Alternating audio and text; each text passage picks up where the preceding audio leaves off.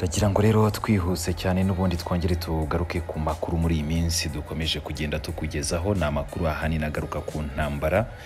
Inyeshyamba za M23 zihanganyemo n'igisirikare cya Repubulika Iharanira Demokarasi ya Kongo FARDC akenshi rero aya makuru akunda kujyana cyane n'umubano w'igihugu cy'u Rwanda ndetse n'igihugu cy'abaturanyi cya Repubulika Iharanira Demokarasi ya Kongo ni umubano nawo ukomeje kuzamo igitotsi. Dore ko rero biterwa n'uko repubulika iharanira demokarasi ya kongo kuri ubu ngubu irakoranira bya hafi n'abajenosideri bagamije guhungabanya umutekano w'igihugu cy'u rwanda ariko na yo ikahindukira ikavuga ko u rwanda rufasha inyeshyamba za M23. Kuri ubu rero hari amakuru yari amaze iminsi yacicikana ku mbuga nkoranyambaga ni amakuru yemeza ko majoro wiringoma ngo yaba yari amaze igihe kirekire afunzwe n'ubutegetsi bwa repubulika iharanira demokarasi ya kongo umuvugizi w'umutwe witwaje intwaro wa M23 majoro wiringoma yongeye rero kuvugira mu ruhame ni nyuma y'iminsi bihwihwiswa ko yaba yaratawe muri yombi maze anyomoza ayo makuru. Ahanini rero ni na byo tugiye gukomeza tugarukaho gatanu kuri gatanu muri iyi nkuru yacu. Nongeye kuguha ikaze rero anakwibutsa ko byoroshye cyane gukomeza kubana natwe no kureba hasi. Handitse subscribe ariko kandi mu gusoza iyi nkuru turaza no gukomoza ku itangazo ryashyizwe hanze n'ingabo z'igihugu cy'u Rwanda rikanajyana n'iryashyizwe hanze n'ingabo za FARDC ni Majoro Ngoma yari amaze iminsi acecetse cyane byatumye hari abakoresha imbuga nkoranyambaga bagendera ku kubura kwe bagakwirakwiza amakuru y'uko yaba afunzwe cyangwa se akaba ngo yarapfiriye ku rugamba. Ni ku makuru yamuvuzweho majoro ngoma kuri uyu wa makumyabiri n'umunani nyakanga ibihumbi bibiri na makumyabiri na gatatu yagize ati bitandukanye n'ibyavuzwe byose kuri interineti meze neza kandi ndi umukozi w'umwizerwa wa M23 uyu murwanyi yagarutse ku buryo ubutegetsi bwa repubulika iharanira demokarasi ya kongo yita ubw'abahezanguni bukomeje kwanga imishyikirano hagati yabwo ndetse na M23 yagize ati twebwe rero dukeneye amahoro dukeneye ibiganiro mu buryo buziguye. Twabibwiye leta ya repubulika iharanira demokarasi ya kongo. Leta irema akaduruvayo kubera impamvu yateguwe.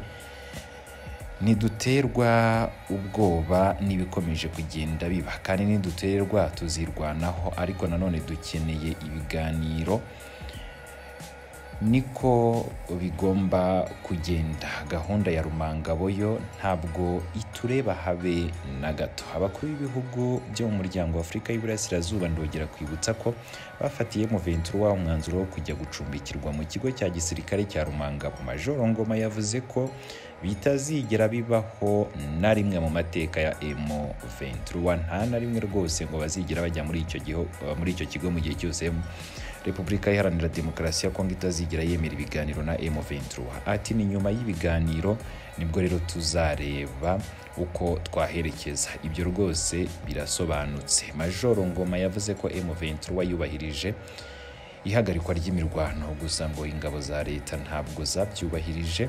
Yazimenyesheje ko rero zidakwiriye gukina n'umuriro. Nk'uko rero natangiye mbi kugezaho reka dukomeze twumva ibijyanye n'amatangazo y'uruhererekane yashyizwe hanze n'ingabo z'ibihugu byombi ni FARDC ndetse na RDF ndagira ngo rero twihuse cyane tudatinze tugaruke ku makuru akomeye cyane amaze gushyirwa hanze.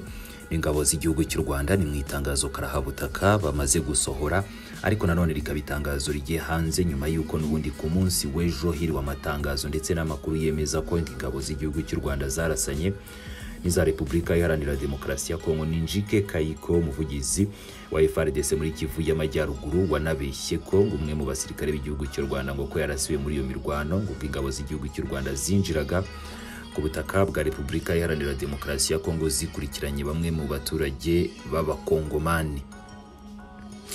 Gatanu kuri gatanu rero tugiye kuba turebera hamwe icyo ingabo z'igihugu cy'u Rwanda zivuze kuri iri tangazo ryasohowe na FARDC ku munsi w'ejo ndetse twari twanabibateguje ko mu gihe ntacyo ingabo z'igihugu cy'u Rwanda ziravuga ko aya makuru tuzakomeza kuyakurikirana kandi tukazabagezaho icyo uruhande rw'igihugu cy'u Rwanda ruzatangaza ku bijyanye n'ayo matangazo yemezaga ko ingabo z'igihugu cy'u Rwanda zinjiye ku butaka bwa Repubulika Iharanira Demokarasi ya Kongo ndetse ngo hakabaho n'ukurasana ku mpande zombi. Nongeye kuguha ikaze rero muri aya makuru tugiye kuba tubanamo gatanu kuri gatanu ariko kandi nkanakwibutsa ko rwose byoroshye cyane gukomeza kubonera ku gihe amakuru atandukanye tuba dukomeje kugenda tukugezaho nta kindi usabwa. Ni ukureba aho hasi handitse subscribe ubundi amakuru yose ukajya ukomeza kuyabonera ku gihe nk'ibisanzwe. Ngira ngo wenda kugira ngo usobanukirwe neza reka duhere ku itangazo ryashyizwe hanze n'igisirikare cya FARDC ku munsi w'ejo ndetse n'amakuru yatangajwe na Repubulika Iharanira Demokarasi ya Kongo binyuze mu muvugizi w'igisirikare cya FARDC muri Kivu y'Amajyaruguru hanyuma tunakomereze ku itangazo RDF mu kanya gato cyane imaze gushyira hanze.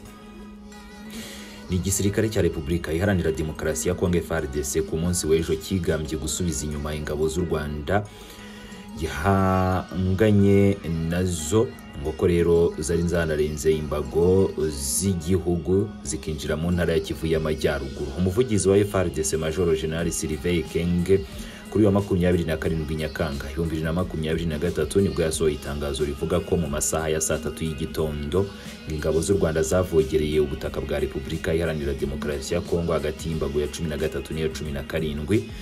Ngo bagamije guteza umutekano muke ku butaka bwa Repubulika Iharanira Demokarasi ya Kongo Major General Ekenge yasobanuye ko abasirikare b'u Rwanda binjiye ku butaka bwa Repubulika Iharanira Demokarasi ya Kongo birukankana abanyekongo ku butaka bwabo bwite. Ngo abasirikare ba FARDC bashinzwe umutekano wo ku mupaka ngo bagobotse abo banyekongo maze barasana n'aba RDF babasubiza inyuma basubira ngo mu gihugu cyabo ari cyo cy'u Rwanda. Ku rundi ruhande umuvugizi w'igisirikare cya Repubulika Iharanira Demokarasi ya Kongo FARDC muri Kivu y'Amajyaruguru Njike Kayiko ni mu kiganiro yagiranye na Actualite.cd we yatangaje ko ngo ahubwo ngo uko kurasana kwanasize ngo hari umwe mu basirikare bo mu ngabo z'igihugu cy'u Rwanda hasize ubuzima ndetse rero ni n'amakuru yakomeje kugenda akwirakwizwa n'ibitangazamakuru binyuranye bya Repubulika Iharanira Demokarasi ya Kongo ndetse n'abanyamakuru kuri ubu ngubu bigaragara neza ko bishyuwe akayabo ngo bakomeze kuvuga ibihuha ku gihugu cy'u Rwanda. Ni mu itangazo ryo ku munsi w'ejo rya FRDC ntabwo Major General Ekenge yasobanuye icyatumye abasirikare b'u Rwanda birukankana aba banyekongo bazwi nk'abacoracora. Gusa amakuru yageze ku gitangazamakuru cya hano mu gihugu cy'u Rwanda cya bwiza.com yavugaga ko bageragezaga kwinjiza ibicuruzwa bya magendu mu karere ka Rubavu bavuye muri teritwari ya Nyiragongo ni hafi y'umupaka wa Goma. Nta rwego na rumwe ku munsi w'ejo rw'u Rwanda rwigeze rugira icyo ruvuga kuri aya makuru. Kugeza ubwo mu kanya hasohotse itangazo. Gusa nanone hari amakuru umuyobozi w'ingabo mu karere ka Rubavu Nyabihu na Rutsiro Liyetona Koloneli Ryarasa William yari aherutse kumenyesha abo mu nzego zitandukanye muri Rubavu ko muri magendu zinjira mu gihugu ko hashobora kuziramo n'intwaro zo kwifashisha mu guhungabanya umutekano w'urwa Gasabo icyo gihe ni Liyetona Koloneli Ryarasa wanahishuye uburyo ngo hari za grenade zari zinjijwe i Rubavu muri ubu buryo bwa magendu.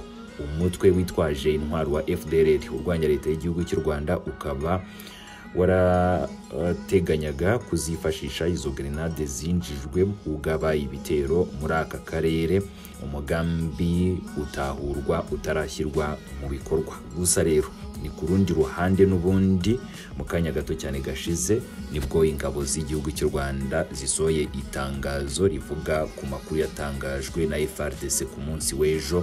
Reka na yo tuyakomozeho cyangwa se tuyave imuzi n'imuzingo. N'ubuyobozi bw'ingabo z'u Rwanda nabwo bwavuguruje aya makuru yatangajwe n'ingabo za Repubulika Iharanira Demokarasi ya Kongo.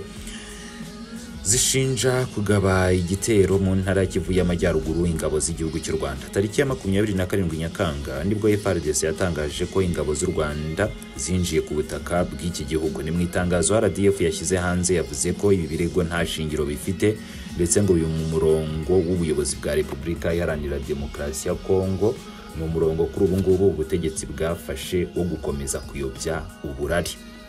Dutereye amaso rero cyangwa se tukava imuzi n'imuzingo ibikubiye mu itangazo RDF imaze gushyira hanze rikaba kandi itangazo ryamagana rikanavuguruza byatangajwe na FRDC igisirikare cy'u Rwanda cyasobanuye ko aya makuru yatangajwe na FRDC yiyongereye ku yandi menshi cyane amaze iminsi y'ibinyoma. RDF yatangaje ko aya makuru atari ukuri kandi ko akubiye mu mugambi wa leta ya Repubulika Iharanira Demokarasi ya Kongo yo gukwirakwiza ibihuha mu buryo bwo kuyobya abashaka kumenya uburyo yananiwe eh, gukemura ibibazo by'umutekano ikabikora ikomeje kwifatanya n'umutwe witwaje intwaro wa FDLR ugizwe n'abajenosideri ngayo nguko rero ngira ngo muriyumvira yuko iri tangazo ryasohowe ku munsi w'ejo ni n'itangazo twakugejejeho ku ikubitiro ni itangazo ryasohowe hagamijwe gukwirakwizwa ibinyoma n'ibihuha ni n'amakuru yasohowe hagamijwe kuyobya abantu ngo batamenya umugambi wa repubulika iharanira demokarasi ya kongo na fdrr wo kugaba ibitero ku butaka bw'igihugu cy'u rwanda nk'uko n'ubundi bigaragara neza neza. Muri iryo tangazo ubona imbere yawe rya RDF reka rero iby'aya makuru tubihinira ahangaha ariko mu gusoza dukomeze twumva Sylvain Ekeng asoma itangazo natangiye nkugezaho. Ni itangazo yasohoye ku munsi w'ejo ry'ibihuha nk'uko RDF imaze kubivuguruza.